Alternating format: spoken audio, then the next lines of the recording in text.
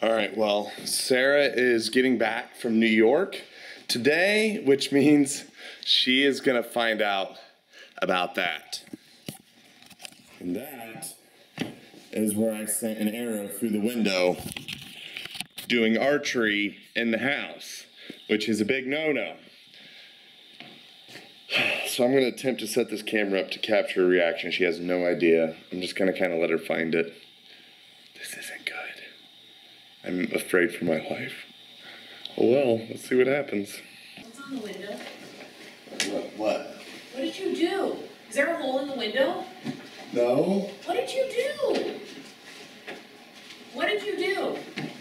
nothing. There is a what the f- did you do? I'm sorry. What did you do?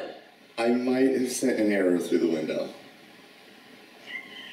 I was drawing back, made sure there's no cats, and the thumb button. When I tucked my finger behind the thumb button, it, it went off. I don't understand. I was I had the bow pointed down, and it went through the wood and hit the window.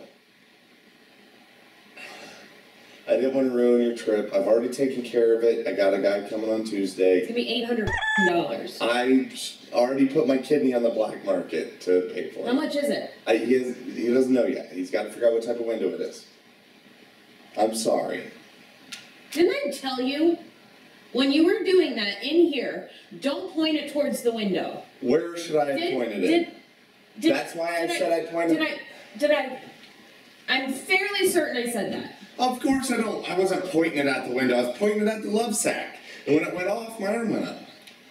Why do you have to do that in the house? Where else can I do it at night? Outside. In the dark in the wintertime. Let's be realistic here. I was drawing back and trying to check the stupid vane configuration to see if it was going to touch my face or not. I'm sorry.